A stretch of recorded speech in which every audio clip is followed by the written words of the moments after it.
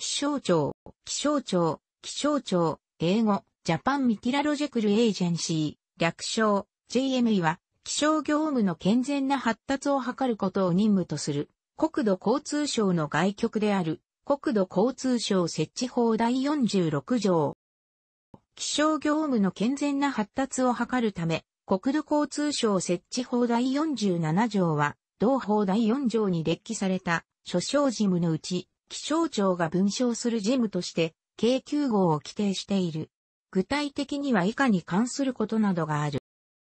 気象庁の行う気象業務、上記諸省事務と、ほぼ一致は気象業務法の下で行われており、同法で気象、地象、水象、観測、予報などの概念の意味内容が確定されている。気象、地象及び水象に関する情報には、具体的には、天気予報、地震情報、火山情報、津波情報などがある。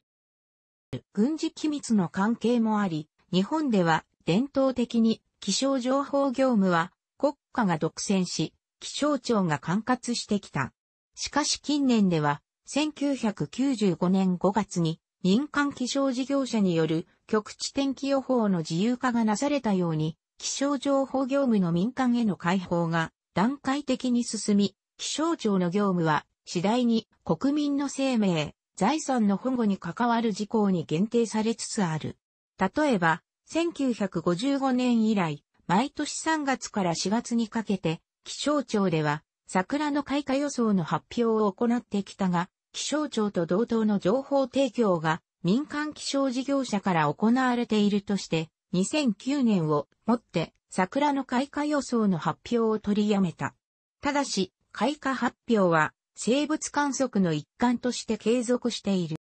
1887年に発足した内務省中央気象台を前身とする。文部省、運輸通信省への移管を経て1945年5月、運輸省の組織となった。1956年、運輸省の外局に昇格するとともに、現在の気象庁に改称した。2001年の中央省庁再編によって、国土交通省の外局になった。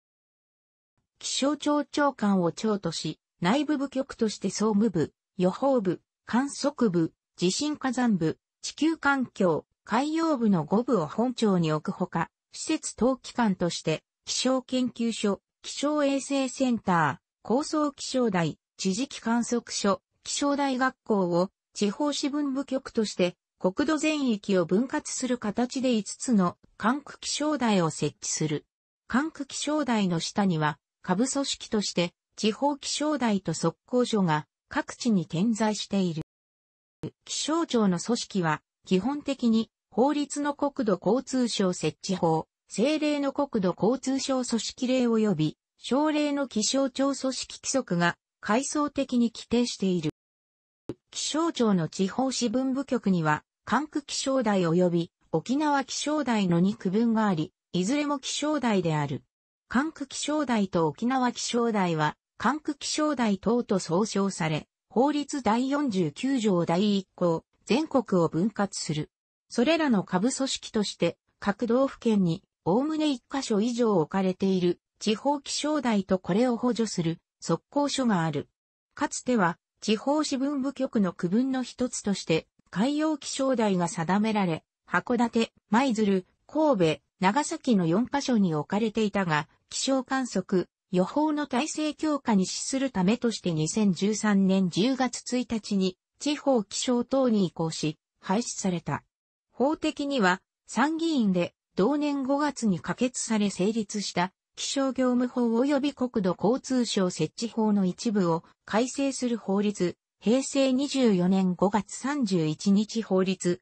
第23号が施行されたことによる。地方気象台及び速攻所のうち、航空機の利用に供するための気象、地象及び水晶の予報及び警報を司り、空港とその周辺を管轄する類型は、特に航空地方気象台及び航空速攻所と呼ばれ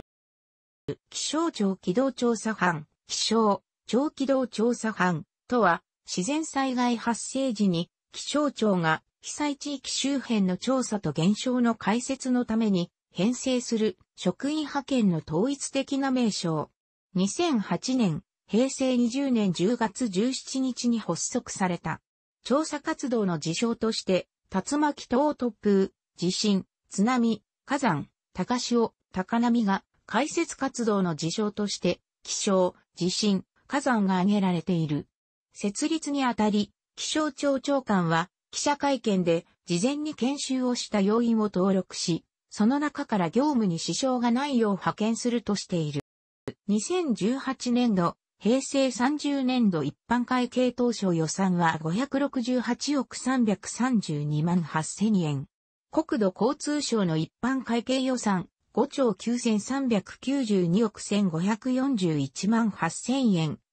約0.96%を占める。科目内訳は、気象干所共通費が361億4821万8000円、63.6%、気象干所施設費が7億8027万1000円、1.3%、観測予報等業務費が172億4882万2000円、30.4%、気象研究所が26億2601万7000円、4.62%となっている。物件費及び人件費で分けると、物件費は208億7400万円、36.7%で、人件費が359億2900万円、63.3%となる。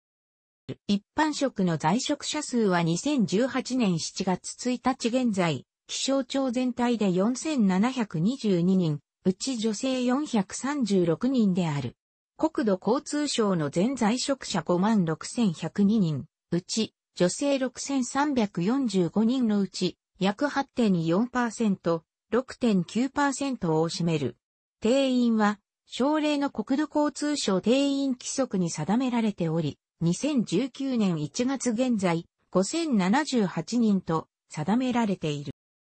職員の競争試験による採用は、国家公務員採用総合職試験、引率者試験、同、大卒程度試験、国家公務員採用一般職試験、大卒程度試験及び気象、大学校学生採用試験の合格者の中から行わる。いずれも人事委員が実施する。過去の採用実績では、旧 I 種及び E 種、現在の総合職及び一般職に相当およそ9割を理工系の試験区分からの合格者が占めている。気象大学校学生採用試験は、気象大学校大学部学生を採用するための専門職試験であり、高卒程度を受験資格とする。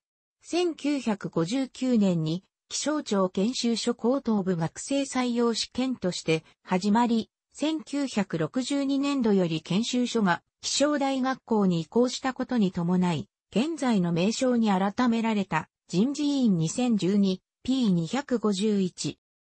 気象庁の職員は一般職の国家公務員なので、給与に関しては一般職給与法が適用される。法給表は行政職法給表ないし指定職法給表が適用される。ただし、気象大学校に勤務する教頭、教授、准教授、講師及び助教は、教育職法給表1の適用範囲となる人事院、規則9から2第8条。人事院の指定により、特定の職務に対して特殊勤務手当、爆発物取扱等作業手当、航空手当、三条作業手当、夜間特殊業務手当が支給される人事院、規則9から30。一般職の国家公務員なので、労働基本権のうち葬儀権と団体協約締結権は国家公務員法により認められていない。団結権は認められており、職員は労働組合として国交法の規定する職員団体結成し、もしくは結成せず、またはこれに加入し、もしくは加入しないことができる国交法第108条の2第3項。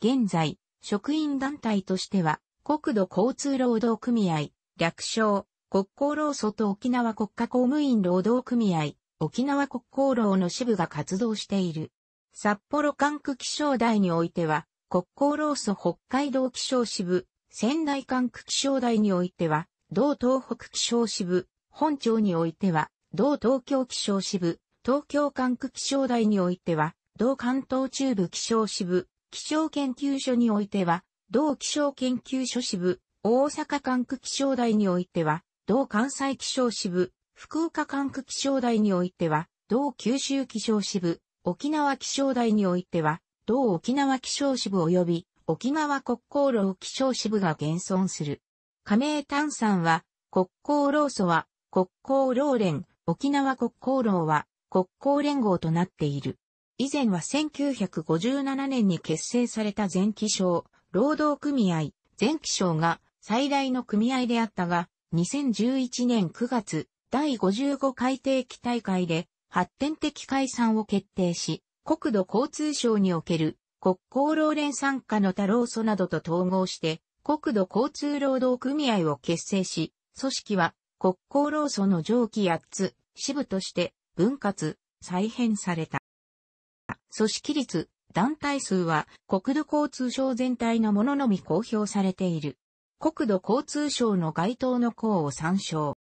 国土交通省の該当の項を参照。気象庁が編集する白書には、気象業務は今、通称、気象白書がある。他に、暴風、豪雨、地震等の自然現象による災害が発生した場合に作成、公表される災害時自然現象報告書がある。災害を引き起こした現象や気象庁の取った措置などの概要をまとめた作成、公表しているものである。年度ごとに号数が振られる。なお、気象庁のウェブサイト、ホームページにおける URL ドメイン名は www.jma.go.jp で、国土交通省 milt.go.jp からは独立している。定期観光の広報誌として2002年5月に創刊されたオンラインペーパーのこんにちは。気象庁です。を出しており、上記ウェブサイトに掲載している。総務部総務課が編集、発行事務を所掌している。また、国土交通省の広報誌である国土交通においても情報を発信している。本庁舎は東京都千代田区大手町1丁目3番4号に所在する。本庁舎内には一般人が利用できる施設として、気象庁の業務を説明する、気象科学館、天気相談所及び、国立国会図書館支部気象庁図鑑がある。いずれも入場無料。また、気象資料の専門店である、津村書店が入居している。なお、2007年、平成19年6月15日に開催された財務省の国有財産の有効活用に関する検討、フォローアップ有識者会議において、気象庁の庁舎を港区虎ノ門に移転し、跡地を売却することが提言され、計画が進められている。庁舎移転後に関しては、現在地で観測業務を行っている東京管区気象台本庁庁舎に入居も移転することになるが、地上気象観測施設、気温と風向風速の観測点、東京は2014年12月2日から近隣の北の丸公園内に移設して運用している。気象庁の幹部は以下の通りである。楽しくご覧になりましたら、購読と良いです。クリックしてください。